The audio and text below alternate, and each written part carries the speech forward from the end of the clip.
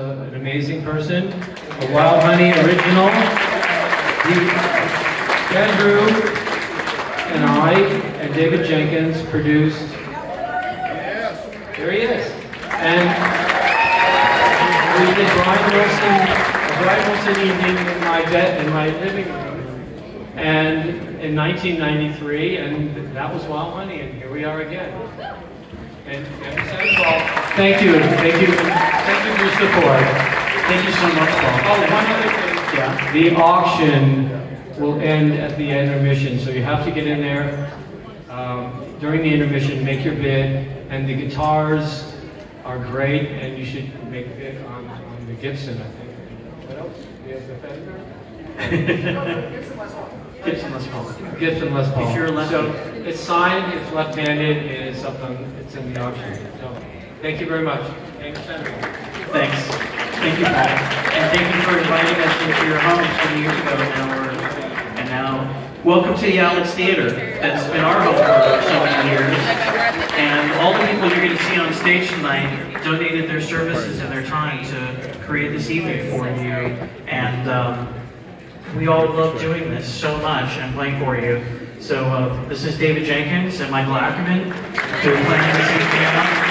The four of us together, but it's a huge team of people, including the Wildwood Orchestra, all the technical people, the front of house, monitor people, wonderful stage managers, stage techs. We have a huge crew of people who all help us out every year. And it's just, it's a truly awesome thing to see everybody pull together because we love the music that we're going to play for you tonight so much. It means so much to us. David?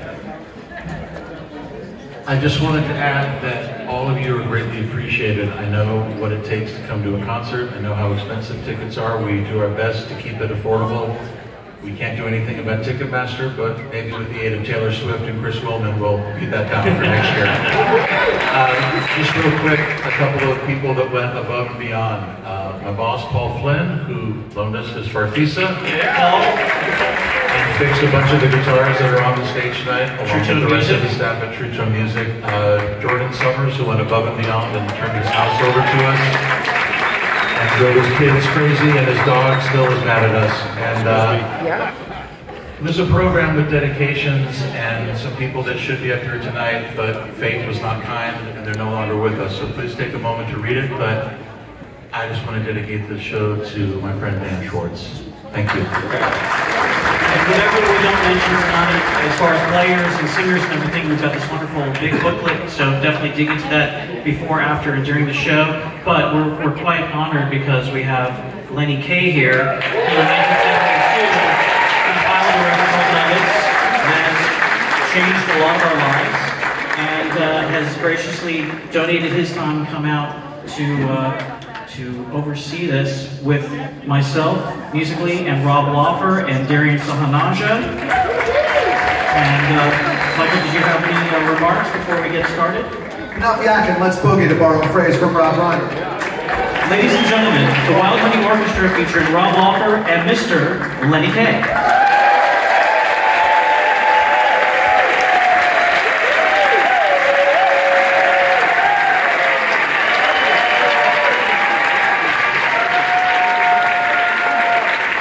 It's the nugget. If you dug it. I mean, come on. If I knew that I'd be standing on the stage at the Alex Theatre a half century later, I would have fucked that record up. I would have felt the pressure, history, oh my God. Concept, you know. Anyway, I just had a good time. I would like to really dedicate this evening to Jac Holzman, president of Elektra Radio. He called me into his office one day when I was a callow youth, and he said, I had an idea for an, an album called Nuggets, which gathers together all these strange album cuts and songs that have been almost forgotten. And, uh, you know, his main suggestion was Endless Tunnel by Serpent Power, 13 minutes long. That's a great song, but it doesn't really fit. Anyway, he gave me the keys to the kingdom. He allowed me to do whatever I wanted, the mark of a great record company president. And he went along with everything. He gave me a beautiful cover. He let me scribe all those liner notes. And, you know, even though Nuggets kind of represents garage rock, To me, the styles on the first Nuggets are all over the place. As you'll see tonight, there's so many different, because it's all really about great records. And I have to send some salute to Seymour Stein, who reissued it. And uh, 1976, you know, so it was right there for a new generation of bands that also started to bring things down to the elementals. I have to send it out to Gary Stewart at Rhino Records. He did that beautiful, beautiful four CD box, continuing it. And speaking of Rhino Records, Patrick Milligan, he called me up and he said, we want to celebrate the golden anniversary and five LP box set. Geez, I felt like I'm in heaven, and I am. And also like to thank everybody in the Wild Honey Collective for getting this beautiful, beautiful tribute together. You are going to have such a good time tonight because we are in the heart and soul of music. And let's get this thing started. This is a guy who has the greatest magazine for garage obsessives ever. Really. Other things, small print, everything. So let's bring on Mike Stax from the Loons. Yeah! Oh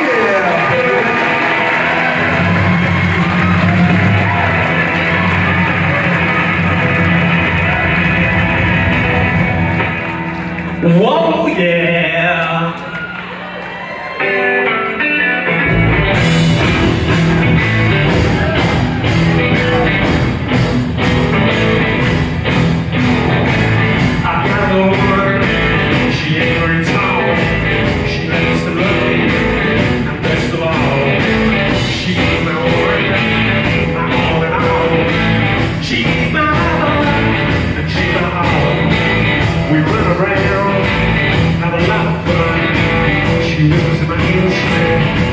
You're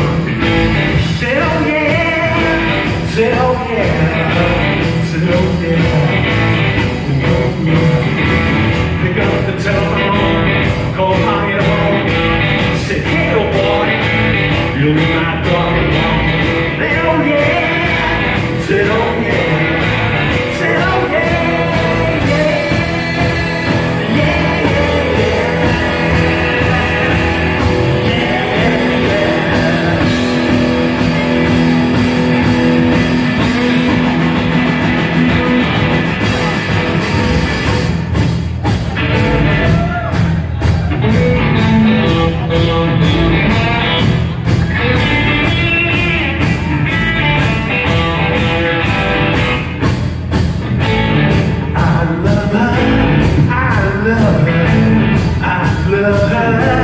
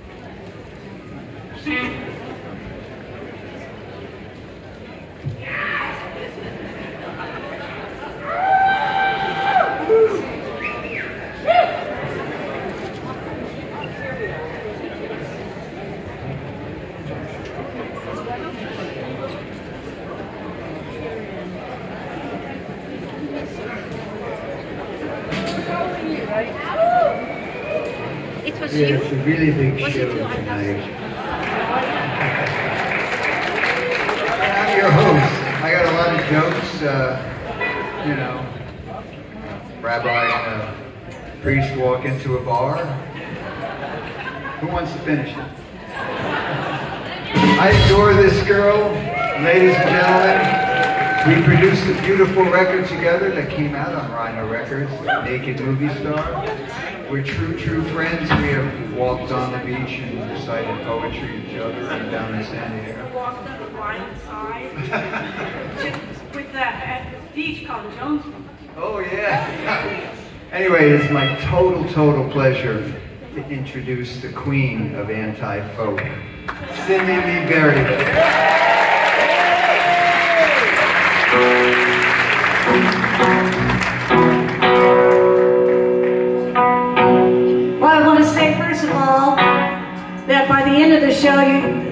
See that this song has proven to be the most controversial of all the songs of the night. So those of you that are under 30 years old, you need to know that this song is a parody. The guys in the band were getting teased for having long hair, right? Are you a boy or are you a girl?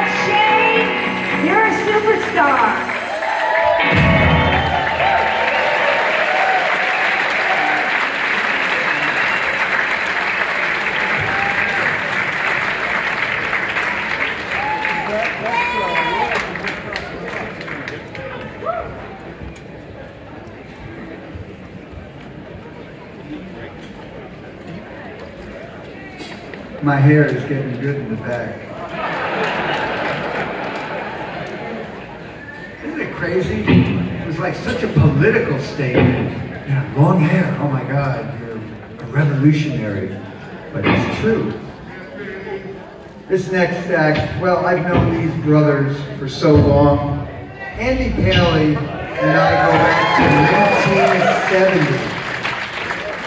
I met him, he was in a band called Catfish Black. Then he was in a band called the Sidewinders, coiled and ready to strike. We've known each other. This is Jonathan Paley. This is the first time they have played together in 45 years. 1978, a good year to be a brother. This is my good friends. They're great. The Paley brothers.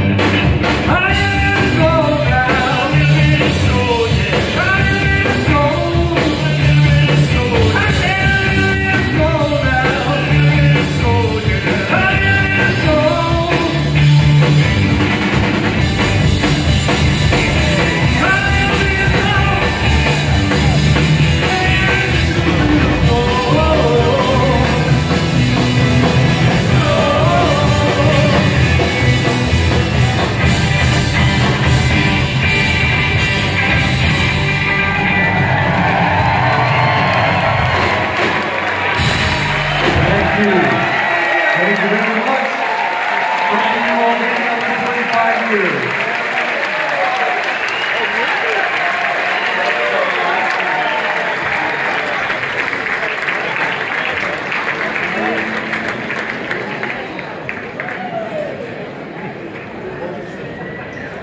Is that your seat?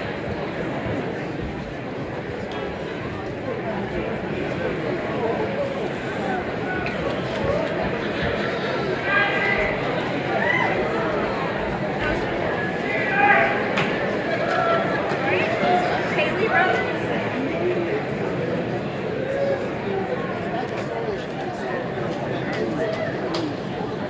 How great is this? I love these songs. I love these performers. I love everybody. Because love is life. And life is love. The next artist has a really great, great career as a songwriter, as a singer. You might have heard Storybook Children, and I have. But really, what I think about him is he has one of the greatest record collections in North America. Makes mine look like minuscule. but we love this song. He wrote this for the Remains, and I'd like to give a big Alex Theatre welcome for Billy Vera, Morgan Coyle, David and. Come on it.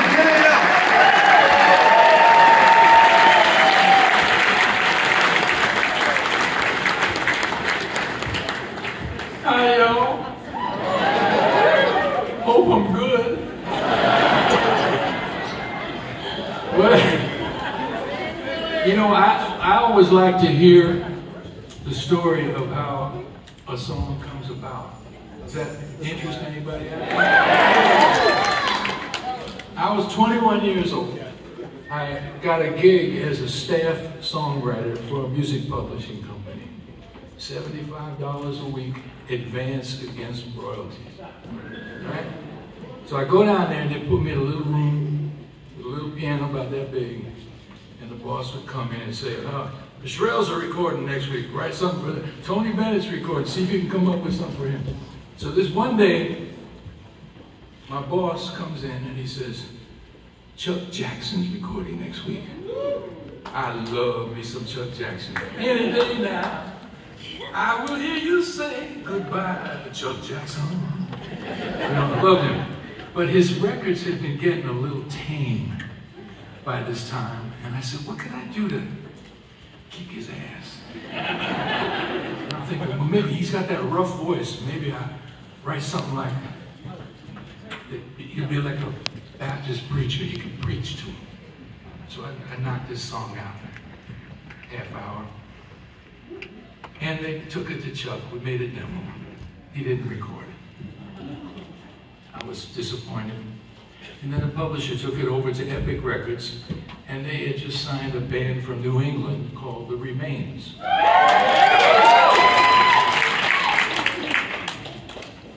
Nobody would have done that back then because nobody knew who they were. they recorded it, and I said, these white boys are going to record my song. and I heard the record, and I loved it. It wasn't how I had imagined it, but I loved it. I didn't like it, I loved it. And it made me bubbling under the charge. Oh well, next. So then, about three, four years later, whenever my career goes in the toilet, my record collecting takes, uh, takes the place of a career. So I was down in the village, Greenwich Village, in a place called Village Oldies. Right? And I walk in there, and I'm going through the records, you know, like some sick record collector. This tall, slender fellow comes up to me, recognized me. He said, he said, hey, Billy, man, I know where there's a stash of your Atlantic albums. I said, really? He said, yeah, about 60 cents a piece, man. I said, I'll take them. I could sell them in the club. Because like any other loser musician, I was living in my mother's house. you know. So I got the albums, and, and Lenny said, by the way, it was Lenny and Kaye. And Lenny said, by the way, he said, uh, I recorded a song of yours. I didn't, I put a song of yours on an album I compiled called Nuggets. I said, don't get excited, it didn't sell very much. I said, hey, listen, I'll take whatever you got. So, cut to about 20 years later, I got the number one record in the country. I get a phone call. Cyndi Lauper's husband. Cindy just recorded a track on your song, Don't Look Back. I said, whoa. He said, yeah, she wants to do a duet with Joan Jett. Whoa. Finally, this song might make me a couple of dollars.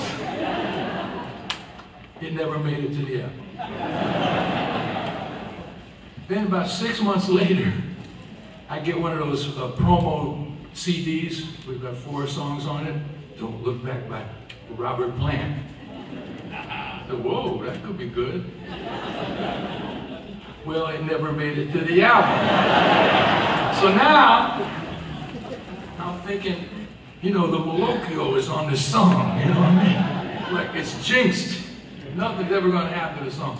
Cut to another 20 years, now the song's 40 years old, Rhino Records puts out a box set, an expanded version of Nuggets.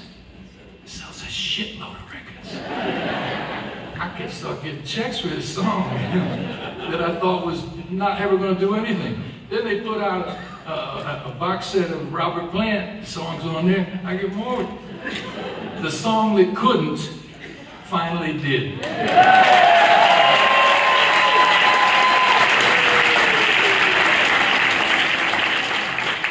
But right now, this wonderful band and I would like to perform it for you. You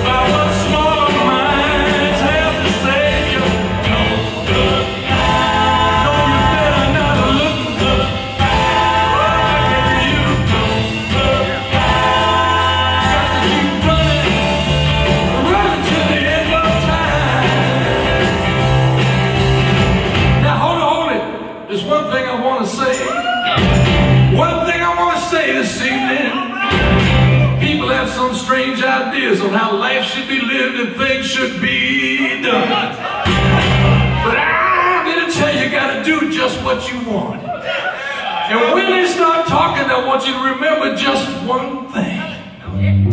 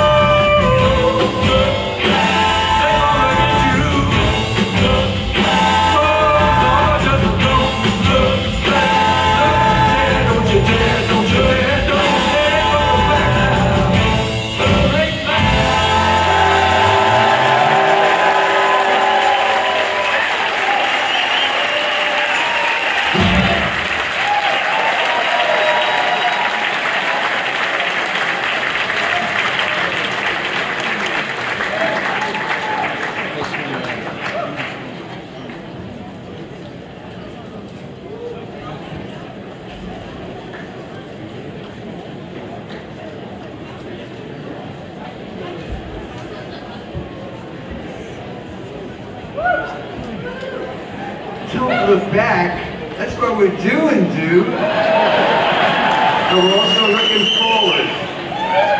I gotta say, when I made up the first list for the original Nuggets, there was one song I wanted, probably more than ever. I was unable to license it. In 1998, when Rhino put together the four CD box, they were unable to license it. But thank you to the legal department of Rhino Records because it is Pride of Place Volume 2 on Nuggets. Here's All Day Suckers. Morty Coyle, David Christine, Jordan Summers doing 96 Tears.